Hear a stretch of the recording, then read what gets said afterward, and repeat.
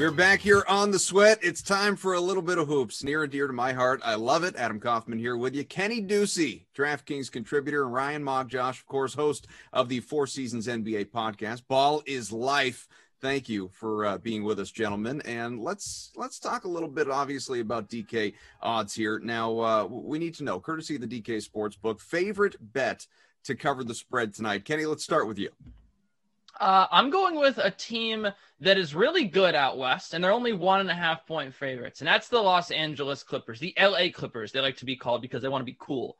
Uh, did you know what their defensive rating is without Kawhi Leonard off the floor? It's actually 1.4 points better. That's right. This team might be the deepest team. Like, oh, you, you scared that Kawhi Leonard's not going to play. You don't want to weigh the one and a half points against the Pelicans. The Pelicans are terrible on defense. So I don't care that the, the Clippers, they have a little harder time scoring the basketball without Kawhi, but you still have Paul George out there. You still have Marcus Morris. There's so many guys on this team that have proven capable. And how many times, Koff, have we been here? We've said, oh, the Clippers stars are out. The Clippers are tired on the second night of a back to back. Everything. Eh, people make every excuse in the world to fade the Clippers, and all they do is just continue to cover. This team is a cover machine. I'm taking the one. I'm laying the one and a half points here with the Clippers. I think they win pretty easily here against the Pelicans, despite the fact that the narratives on the Pelicans side need the win. I, just don't see it happening for a team that just looked really lackadaisical. And the biggest thing here, Steven Adams questionable. Steven Adams doesn't play. The Clippers win this by ten points. Who's spitting your eggs, Benedict, this morning? Unbelievable. It's it's like he's upset, Ryan, that they don't call him the NY Knicks or something like that. they don't want to be cool. Who's your favorite to cover tonight? Uh, the Clippers bet's a nice one. They're looking very decent lately, but I'm going to go with the 76ers minus 11. And it's not so much because the Sixers are good, but it's more so the Thunder stink.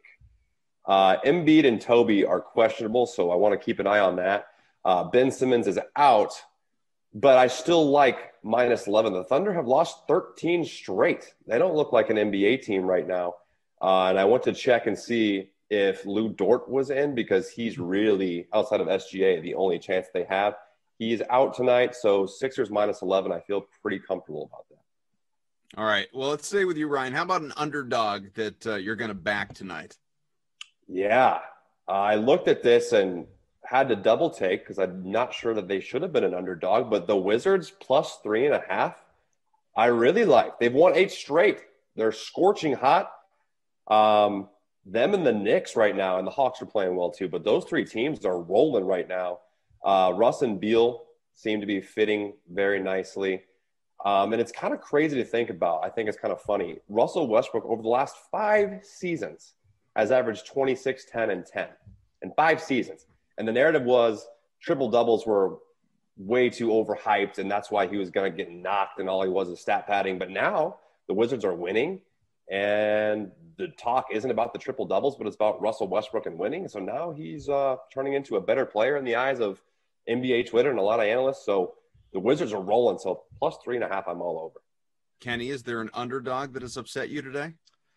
Uh, you know, it's so funny. I don't want to. I don't want to say it because now Ryan just talked about how they're going to cover, but I, I kind of like the the Thunder plus 11 and a half here because look, I, I, I don't, I can't explain how the Thunder are going to score without Lu Dort, but it seems like it's a punt game for the Philadelphia 76ers. You've got, there are rumblings right now, just rumblings out there. I'm seeing them on Twitter that there's a chance that Ben Simmons could play in this one. But Joel Embiid is questionable. Uh, Tobias Harris is questionable. Furkan Korkmaz is questionable. And that's all after Korkmaz and Harris specifically played over the weekend. So it sounds to me like it, they're just going to take this opportunity to rest their players because they know they're going to beat the Thunder, right? But I feel like in these spots where they've known that they're going to beat this team, uh, the 76ers have a propensity for just not covering. So I, uh, again, I mean, this is a this is an NBA team, sort of the Thunder. Uh, I I do think that they could potentially get a little close here. They have some guys that can shoot the basketball. The other one I like here is is Minnesota plus nine and a half. They've covered in two of their last uh, two of their last three. Um, and uh, it's it's going to be a little difficult. But again, the Jazz, you know, th- there's Jordan Clarkson. There's Jordan Clarkson issues now. He was like really good for them early in the season, and now you know being thrust into a bigger role. It's kind of weird for him. You know, obviously the no Donovan Mitchell is a big problem. Um, and the, the Timberwolves, Ryan said it last week that this is just a completely different team with D'Angelo Russell healthy. They act, they look like a competent team. I think they could cover the nine and a half here against Utah as well. But I, I, so yeah, the Thunder more speculative. The the Timberwolves I have a little more reason behind. Ducey, how about a uh, total tonight that's caught your attention? Uh, it's the Knicks and the Suns over two and two fifteen. I was going to say two and a half. My baseball is on my mind. The Knicks have hit six overs in their last seven. The Suns six overs in their last nine. This is a different Suns team than we're used to seeing. I've said it before, and I'll say it again. They don't have the slow pace that we're used to. This is a team that run now gets out in transition. They don't play as good a defense as they used to play early in the year, and, and they push towards the top ten in pace. So I think that they'll do their part here. And the Knicks offense, you know, we've seen, I, I told six overs in the last seven. Knicks offense has really been rolling right now. And again, you're going to think that, okay, well, two good defenses. I, I, really think that the pace here will get us enough possessions to get over 215 um, because they're, they're two good defenses, but they're also two really good offenses. And especially on the Sun side, the defense has just kind of started to slow a little bit. The Knicks to an extent as well it's two and a half, you got to hammer that total. Even if it's just a That's first right. quarter total, you got to just, I mean, crush that thing. What about a total First tonight minute. for you, Ryan? Uh, I love the Phoenix Knicks over, but I have a backup because that one seemed like a too good to be true one. Um, I never feel confident about putting the Spurs and over in the same sentence, but I'm doing it because they're playing the Wizards, and the Wizards are red hot, and I'm obsessed with the Wizards right now. Uh, 227 and a half is the over for that game. The Wizards are the fastest team in the league, and lately in the last seven games, they're playing even faster than their regular season total.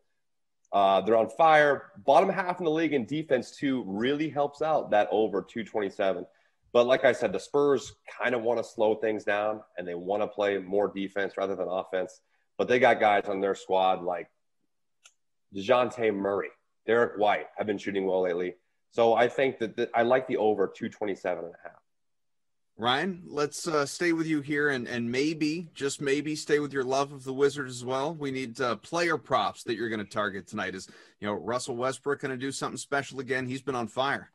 He has been on fire, and my obsession with the Wizards is going to stop with this one. But the Phoenix Suns New York Knicks game that we just talked about, Julius Randle over 26.5 points. Uh, because I do think this game is going to be faster pace than the total. And I do think it's going to be close. This is a New York Knicks team that's the four seed right now, playing the two seed in the West. It's going to be a meaningful game. It's going to be a passionate game. People are going to be playing intense. Um, I would have to double check. I think they're playing on the East Coast, right? It's at New York. The Knicks are allowing fans.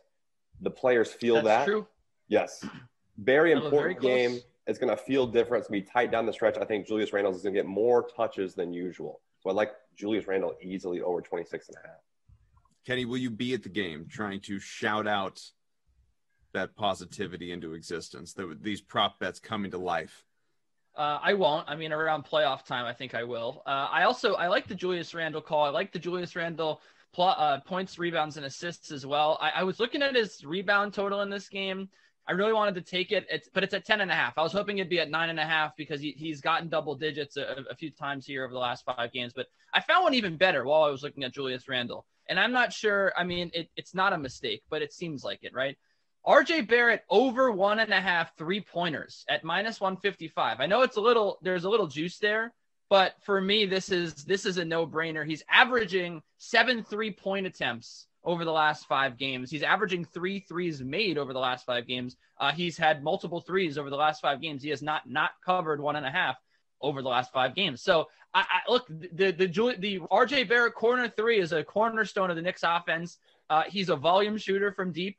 They they get him going from there. And so again, one and a half threes. I know it's minus 155, but come on now.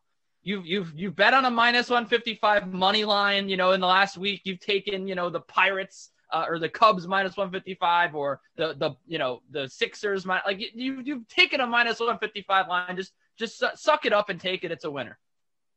Kenny, let's uh, wrap with you here. Or, well, we'll get both of you, but let's wrap with this question. That is favorite overall bet on the DK Sportsbook in the NBA tonight. Could be a total, a prop, whatever you got. I, I like it that much. It's the RJ Barrett prop of uh, one and a half threes.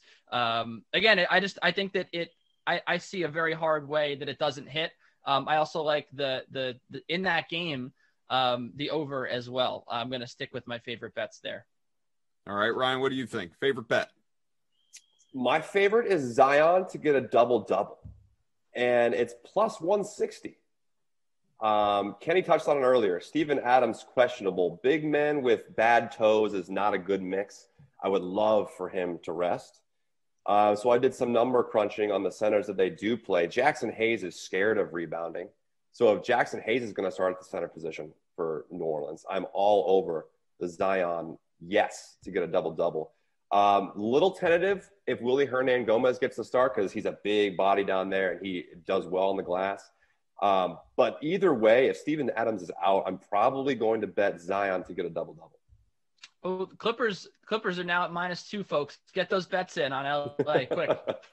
Better hurry up. Hours away from lock. Ryan Magdziarz, as well as Kenny Ducey. Gentlemen, thanks for hanging out with us.